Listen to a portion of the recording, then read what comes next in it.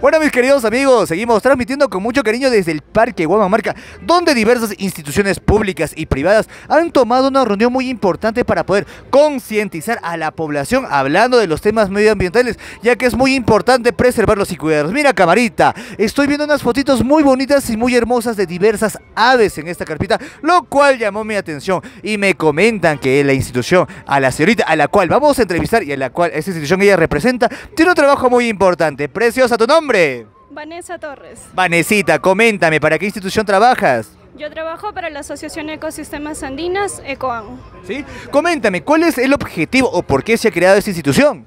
Esta institución se creó hace 23 años con el objetivo de preservar los bosques altoandinos, bosques amazónicos y humedales altoandinos que tenemos en el Perú. En efecto, algo si me permiten acotar amigos, antes de que ustedes vayan a descargarse con las personas, hay que entender algo muy bonito. Para poder preservar una especie, primero tenemos que preservar su hábitat. ¿Por qué? Es como que yo te quiera cuidar a ti, pero no tienes una casa, un cuarto donde dormir, ¿correcto? Así es, nosotros trabajamos conservando el hábitat de especies que se encuentran en peligro, en peligro de extinción.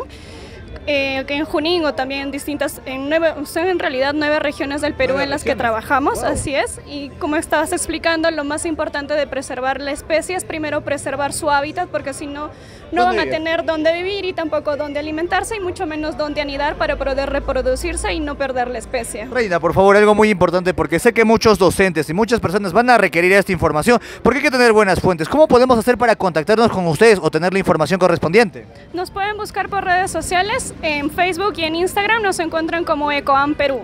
¿Sí? Ecoam Perú. En todas las redes sociales, TikTok, Facebook, Instagram y demás, ¿verdad? TikTok no tenemos todavía, pero tenemos Facebook e Instagram. Ah, ok, ok, ok. Corazoncito, algo muy importante, algún mensajito importante que tú quieras dar a la población con respecto. Mira, tú ya que estás llevando este trabajo, me imagino, por un buen tiempo, has comprendido la importancia de preservar el medio ambiente. Un mensajito para la gente que está viéndonos ahí, para que pueda recapacitar, pues, corazón. Honestamente, eso es lo que necesitamos. Por supuesto, lo que más necesitamos ahora, lo principal que necesitamos es que las personas nos ayuden a preservar el hábitat de las especies. ¿Y cómo lo pueden hacer? Pues evitando botar basura en los bosques, evitando quemar los bosques, al igual que la champa, y también ayudando a que nuestros animales de la granja, como sean las vacas o las ovejas, no, nos, no entren a los bosques, ya que nos ayudan a degradar los bosques. Ah, Esto es muy importante y no se menciona mucho. No, entonces menciónalo por corazón, porque yo no sabía, a veces por desconocimiento, algún pastor puede llevar, digamos, la vaquita porque se va, digamos, y su pues se aleja del campo y se mete al bosque. ¿Por qué no debo hacerlo?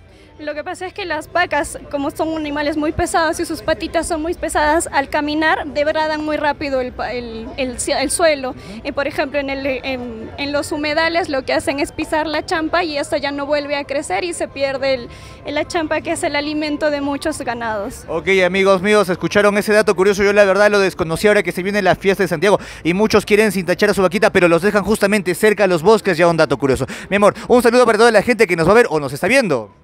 Un saludo a todos, cuídense mucho y ayúdenos a cuidar los bosques. Saludos para la chica de la cámara, después la vamos a entrevistar a ella. Muchísimas gracias, seguiremos transmitiendo.